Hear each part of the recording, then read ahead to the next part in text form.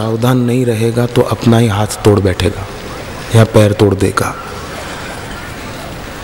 उसको ही चोट लगेगी। बाल काटने वाला जो होता है नाई वो अगर बाल काटते समय अगर असावधान रहे तो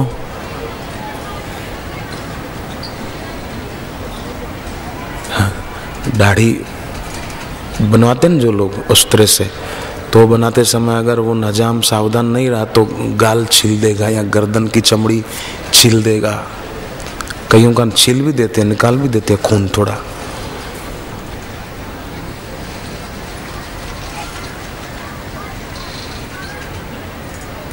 एक आदमी बाल कटाने गया।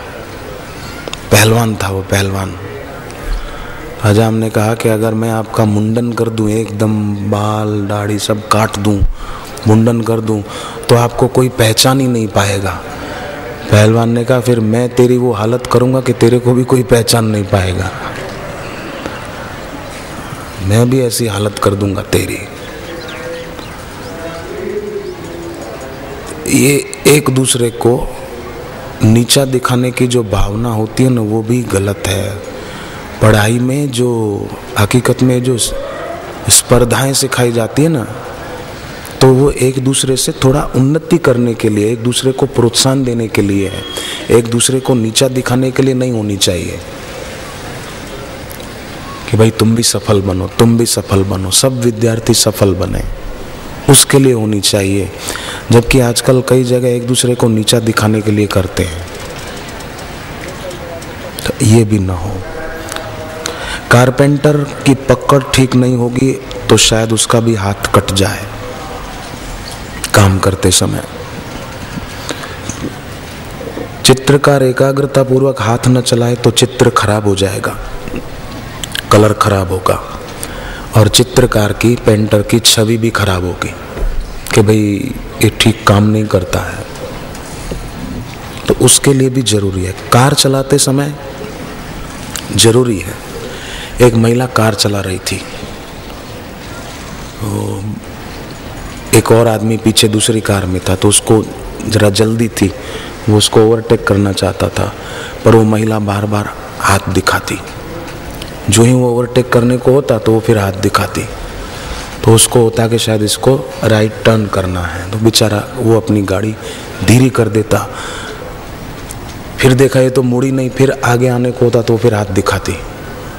तो उसको लगता शायद इसको अब मुड़ना है। ऐसा करते करते कई बार उसने हाथ निकाला, वो गाड़ी धीरे कर गया। आखिर उसने रॉन्ग साइड से ओवरटेक करके गाड़ी आगे ले जाके रोक दी, ब्रेक लगा दी। उसने भी रोकी महिला ने तो इसने गुस्से से बोला कि आप बहुत देर से हाथ दिखा रही हैं मैडम, आप मुड़ती तो हो नहीं, फिर बार बार हाथ क्यों दिखा रही थी? तो उसने कहा कि मुझे मुड़ना नहीं था तो मैं मुड़ने के लिए हाथ नहीं निकाल रही थी तो काय के लिए बार बार ऐसा कर रही थी? बोले, मैंने नेल पॉलिश लगाई थी तो सुखा रही थी। नेल पॉलिश सुखा रही थी।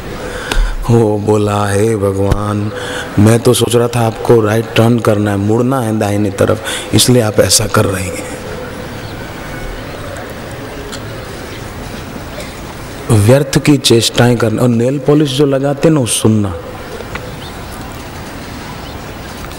नेल पॉलिश में केमिकल होता है। अपन रोटी खाएँगे तो वो हाथ मुँह में तो जाएगा।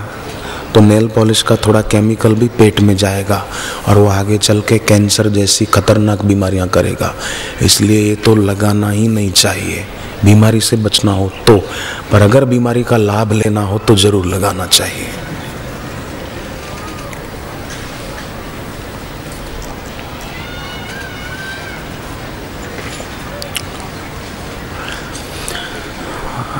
कार चलाते समय कार चालक को भी सावधान रहना पड़ता है और एकाग्रता उसको भी चाहिए। रसोई बनाते समय जो बहन, माँ, भाभी खाना बना रही हैं तो वो भी सावधान रहती है कि नमक तो इतना ही पड़े, मिर्च इतनी पड़े हाँ? जीरा इतना, हल्दी इतनी, धनिया इतना। वो भी एकाग्रता पूर्वक बनाते हैं तो सब्ज़ी, रोटी, दाल, चावल सब अच्छा बन जाता है खाना, खाने वाला। खुश होता है कि भाई भोजन अच्छा किया मैंने।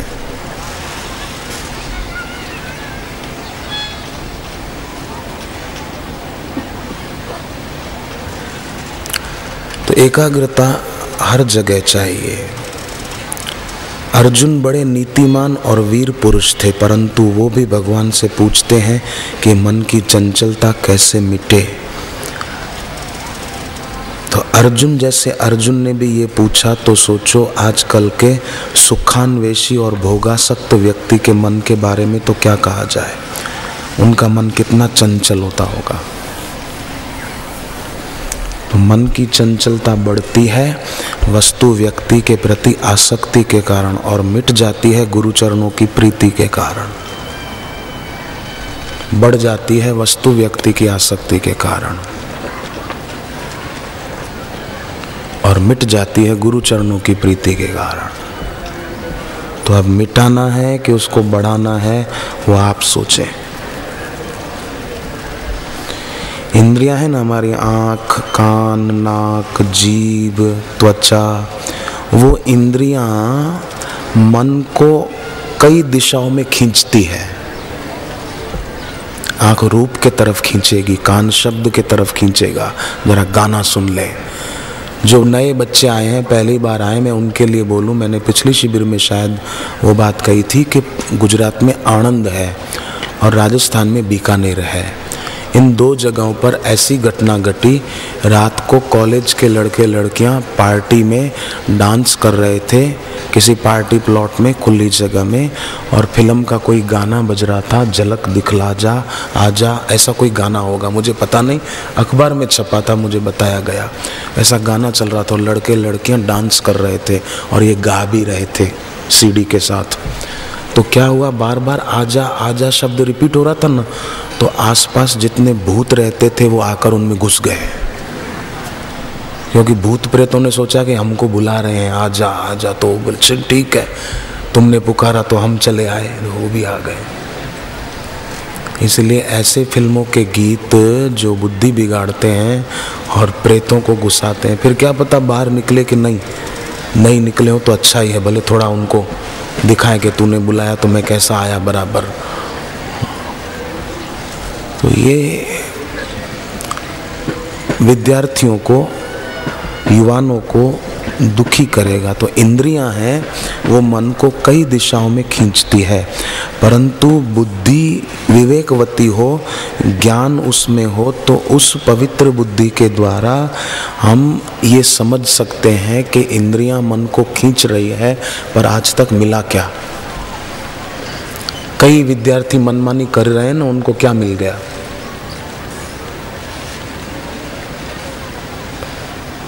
सुबह उठकर कई टीवी पर देख देख कर और वो भी मैच खेलने लग जाते हैं बस, देखा देखी। अब सुबह सूर्योदय का समय है, शांत बैठना चाहिए था।